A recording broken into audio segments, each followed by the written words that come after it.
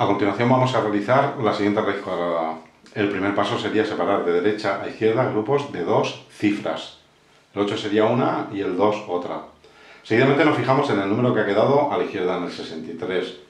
Nos vamos a la raíz y tenemos que encontrar un número que multiplicado por dicho número, por el mismo número, o lo que es lo mismo, el cuadrado de un número cuyo resultado sea el que más se aproxime a 63.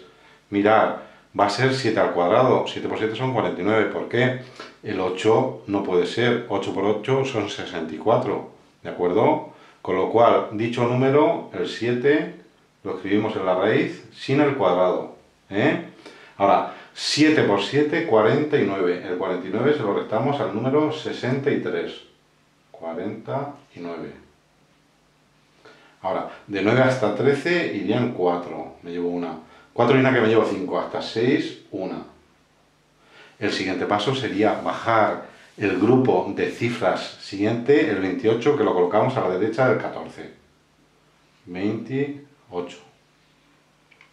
Ahora bajamos aquí a la región auxiliar el doble de 7, 7 por 2, 14. Continuamos encontrando un número que multiplicado por dicho número sea que más se aproxime a 1428. Estamos hablando de escribir aquí 141 por 1, 142 por 2, 143 por 3, etc. Va a ser el 9, ¿eh? 149 por 9.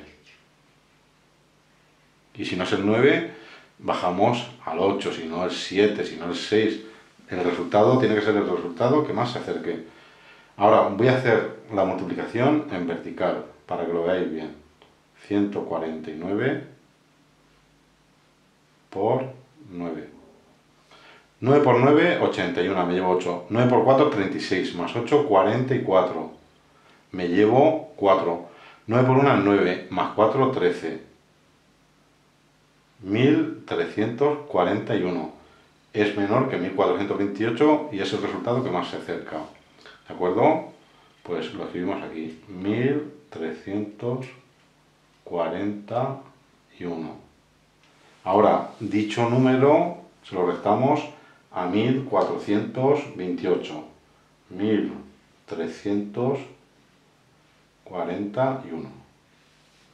Menos de 1 hasta 8, 7. De 4 hasta 12, 8. Me llevo una, 3 y una que me llevo 4 hasta 4, 0 de 1 hasta 1, 0. Y por último vamos a subir a la raíz el 9, este número que nos ha cuadrado. Lo subimos aquí a la raíz. 9. Mirad, si queréis podéis borrar los dos ceros a la izquierda porque no cuentan para nada. Así pues, el resultado de esta raíz cuadrada ha sido 79 y de resto tenemos 87.